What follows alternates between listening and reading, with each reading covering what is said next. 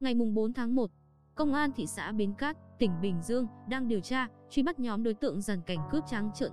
Hai chiếc xe máy, ngay tại bãi gửi xe đông người, trước mặt bảo vệ, được chia sẻ lên mạng xã hội khiến nhiều người xôn xao. Sự việc xảy ra vào khoảng 13 giờ 32 phút trưa ngày 3 tháng 1 tại trước một cửa hàng mua sắm tổng hợp trên đường DT741, phường Hòa Lợi, thị xã Bến Cát, Bình Dương. Theo hình ảnh camera an ninh ghi lại, nhóm đối tượng 6 người được cho là đã lên kế hoạch trước khi hành động. Lợi dụng lúc nam nhân viên ngồi xem điện thoại, hai đối tượng đi chung xe máy tiếp cận mục tiêu. Một tên xuống bẻ khóa xe, tên còn lại đứng gần đó canh chừng. Khi bị phát hiện, tên bẻ khóa vẫn tỏ ra bình tĩnh. Đồng bọn bên ngoài giả vờ hỏi vài câu để đánh lạc hướng nhân viên bảo vệ. Trong khi đó, bốn tên đồng bọn xuất hiện. Hai tên đứng ngoài để đề phòng sự chống trả, hai tên còn lại đèo nhau vào sâu trong bãi. Tên ngồi sau nhanh chóng lấy một chiếc xe và bỏ chạy, tên cầm lái đi loanh quanh để tiện hỗ trợ đồng bọn. Một chiếc xe đã ra đi mà nam bảo vệ không hề hay biết. Anh tiếp tục tranh cãi với tên bẻ khóa ban đầu cho đến khi hắn ngồi lên xe và bất ngờ bỏ chạy. Nam bảo vệ tức tốc đuổi theo nhưng không kịp. Từ những hình ảnh camera an ninh ghi lại cho thấy, nhóm đối tượng này thực hiện hành vi trộm cướp khá chuyên nghiệp, bài bản. Từng đối tượng được phân công nhiệm vụ đột nhập, cảnh giới, cản địa trong trường hợp bị phát hiện truy đuổi.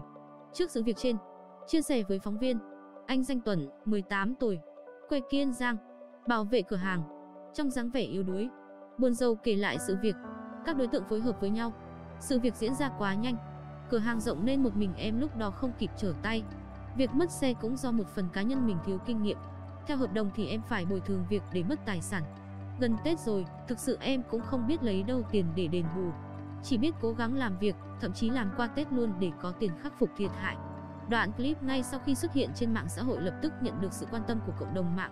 Rất nhiều người tỏ ra bức xúc trước hành động trộm cướp chuyên nghiệp, táo tợn của nhóm đối tượng trên.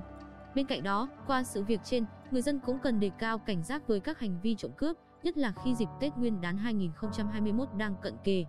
Về phía công ty dịch vụ bảo vệ, giám đốc công ty cho biết đã xuống hiện trường vụ trộm, trích camera, đồng thời báo công an. Về trách nhiệm đền bù do mất xe gửi, đại diện công ty cho biết phía công ty phải đền cho khách 100% thiệt hại. Về trách nhiệm của bảo vệ trực thì phải bồi hoàn lại toàn bộ số tiền công ty bồi thường cho người mất. Tuy nhiên, công ty đang xem xét hỗ trợ, nếu có thì cũng cố gắng hỗ trợ bảo vệ 20 đến 30%.